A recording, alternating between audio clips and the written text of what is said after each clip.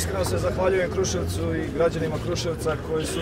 učinili ovako zadovoljstvo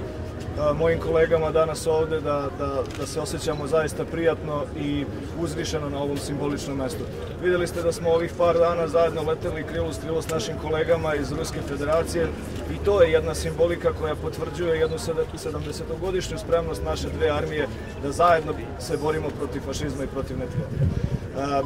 Pored toga što su ovi ljudi učestvovali u, u paradi juče, to su ti isti piloti koji su ove godine pomagali u nesrećenima i u zimskom periodu i u poplavama i vaš doček e, njima danas jeste jedna potvrda e, da nam se zahvaljujete za naše iskrene napore i mi to cenimo, poštujemo i zbog toga smo spremni da to ponovimo uvek i u svakom trenutku za Srbiju i srpski narod. Uvek smo tu, možete na nas uvek računati. E,